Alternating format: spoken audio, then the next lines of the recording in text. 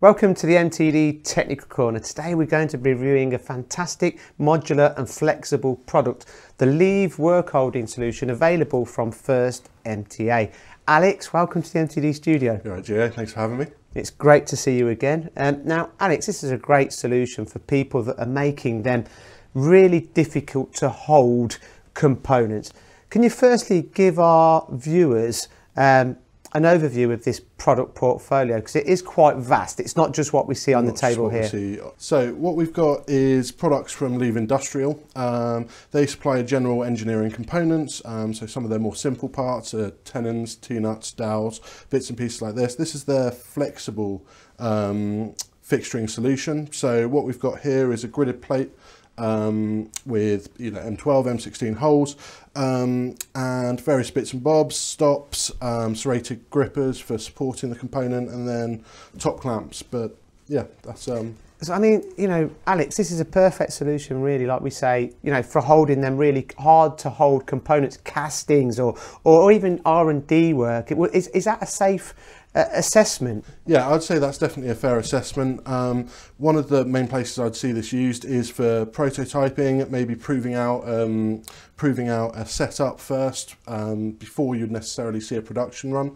And this lets you very quickly, easily put something together to be able to prove it out and then go from there. So effectively, it's like a Meccano set for engineers. So if you're doing a, a one-off, you could just quite quickly build it up onto your machine bed. But then if that particular part went into production, what you're saying is you could actually build up that fixture onto a fixture plate, put maybe some zero point, um, you know, points on the on the base, and literally you, you can have a selection of fixtures that have been made with with this equipment. Is again, is, is that the kind of applications that you're seeing out there? Definitely. So, um, particularly one, one of the main advantages is to be able to keep standardized equipment on the shelf. And that does mean that you can very quickly, easily build up these fixtures. And like you said, they can then be taken down, put back on the shelf. And if that then does come about, making a purpose built fixture, but with the with the standard components that are available. And you know, the fact that there are CAD models available for all of this means that you can build it in your design software and then assemble it. So very modular, like a Meccano set, yeah, like a Meccano but also, set. you know, it can be purpose built for to be a dedicated fixture to manufacture that part and zero pointed onto your machine bed. Now, I'm noticing lots of different products that Leave offer, and they also do columns for horizontal machines. Yep. Um, tell us a little bit more about the complete portfolio. So um, yeah, with regards to um, columns, they call them um, base components. So it's um, yeah, tooling columns, whether it be square, rectangular, all those bits and pieces normally come either plain um, with a gridded system on them, or they'll even, even T-slot them as well. And they'll do that for columns, they'll do that for angle plates, and they'll even do it for base coverage plates as well.